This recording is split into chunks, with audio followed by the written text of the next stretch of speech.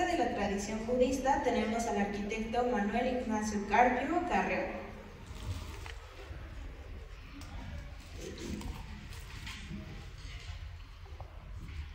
Déjenme platicarles lo acerca.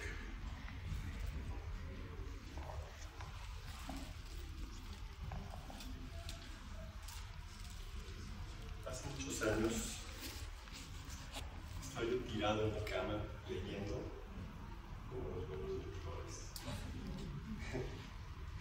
y entró a mi cuarto mi hermana y me dijo, estoy eh, meditando con bebés.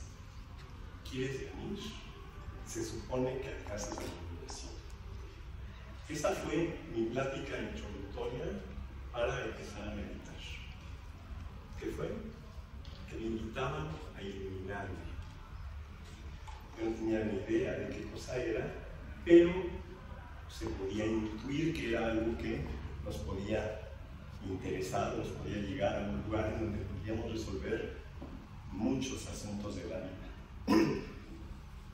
Para mí fue muy fácil decir que sí, porque ya tenía yo un antecedente. Y mi antecedente familiar era que mi papá decía, Dios no existe. Mi papá era ateo. Y ese ateísmo es una semilla para poder preguntarnos, ¿realmente existe Dios? Pero no solo nos preguntamos, ¿existe Dios? Sino nosotros qué hacemos aquí, qué hacemos en este mundo, por qué sufrimos, por qué tenemos problemas. La segunda parte de la ecuación de por qué admití tan rápidamente que iba a meditar fue que por ahí de los 6, 7 años mi ego se había conformado, me había yo ya autoidentificado y en esa autoidentificación comprendí que me iba a morir. Y no solo comprendí que yo iba a morir, sino que mis papás iban a morir, mis hermanos iban a morir, y eso me provocó una angustia enorme. Entonces, vamos a sumar la declaración de ateísmo de papá, la angustia fundacional de la presencia de la muerte y estos problemas como de adaptación social, de integrarme al mundo y no sentirme apartado. Entonces, pues yo al siguiente lunes ya estaba sentadito en esta tradición zen, se sienta uno frente a la pared y trata uno de controlar la mente. El primer ejercicio es, vamos a contar la respiración. Esa es la primera manera que utilizamos para empezar a controlar nuestros pensamientos. El siguiente paso es simplemente observa tu respiración. Ya no puedes, ya solo observa. ¿Qué es lo que está haciendo el Zen con esto? Lo que el Zen está haciendo es ir diluyendo el ego, ir deshaciendo nuestra persona, irnos disolviendo, paso a paso. Llega un momento en que por fin encuentro un maestro, es un maestro americano, educado en Japón por muchos años, y cambia la manera de practicar. Y la manera de practicar ahora es en base a una pregunta.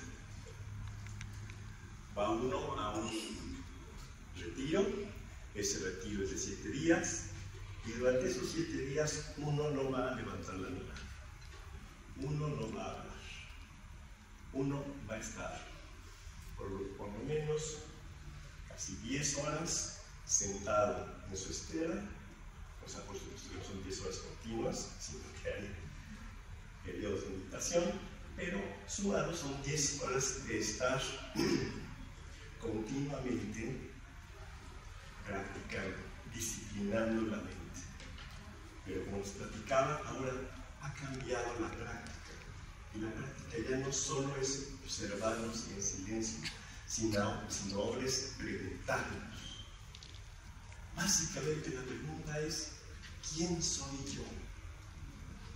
¿Quién soy yo que vive aquí? ¿Quién soy yo que sufre? ¿Quién soy yo que camina? ¿Quién soy yo que respira?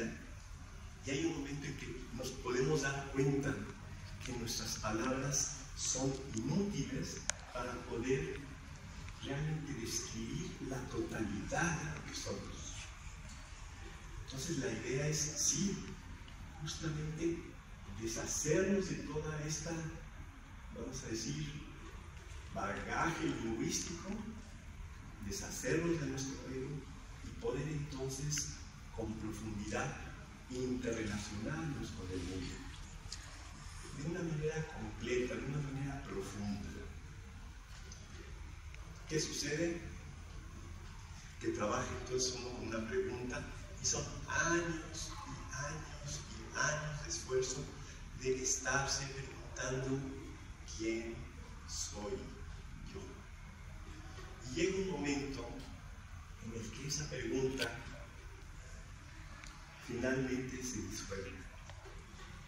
En mi caso fue una cosa de lo más, vamos a llamarle sencilla. Estaba yo en nuestro retiro, en nuestros retiros, me había tocado lavar platos, que es una labor bastante común en estos retiros. Ese día había platos bestia. Y estaba yo especialmente cansado porque la noche anterior me había quedado meditando un rato. Y entonces termino de lavar los trastes, abro una puerta y ahí está. ¿Qué fue lo que vi? Es inexpresable, no se puede decir. En el budismo se dice que viste a tu verdadera naturaleza. Eh, verdadera naturaleza, en, en, Occidente podríamos decir, es decir Dios. Pero en el budismo no se habla de Dios porque se cometen muchos errores cuando se habla de Dios, porque se le personaliza y se le empieza a dar características. Cuando es algo que no, o sea, ni tiene características, ni tiene personalidad, ni tiene nada de malo. Y entonces, hay esta experiencia mística, esta experiencia mística profunda que por fin nos hace conocer. Pero a fin de cuentas, hay una cosa muy curiosa y es que sigue estando ahí don ego, sigue estando ahí nuestra personalidad. Y de ahí en adelante, el trabajo es seguir disolviendo el ego, seguir disolviendo nuestra personalidad, seguir fluyendo con esto que uno vio e irse integrando, irse integrando cada vez de manera más y más profunda, paso a paso. Cambia nuevamente la práctica. En vez de preguntarnos, ahora solo es estar callado. Estar totalmente callado en nuestro interior. Una contemplación mística pura. Eso es. ¿Qué sucede? Que llega un momento en que esta comunión, este conocimiento, nos integra y nos hace personas que tener una ética absoluta, una integración completa. Pero es un trabajo en el que tenemos que estarnos observando y no solo ya nos observamos místicamente, sino que nos tenemos que observar exactamente en todo lo que es el panorama mental que presentamos. Esto quiere decir empezamos a ver nuestras emociones, de dónde surgen esas emociones, de dónde surge el miedo, de dónde surge la angustia, de dónde surgen todas estas inadecuaciones sociales que vivimos. Entonces, este cuestionarse ya deja de ser un cuestionarse que busca un misticismo, empieza a ser un cuestionarse para integrar nuestra persona. Cuando esta personalidad por fin queda integrada, podemos entonces trabajar y trabajar socialmente para que todo el mundo entienda este trabajo. Y eventualmente este trabajo significa el que socialmente vamos a poder lograr el trabajar como una unidad, el entendernos como una y que realmente podamos ser hermanos.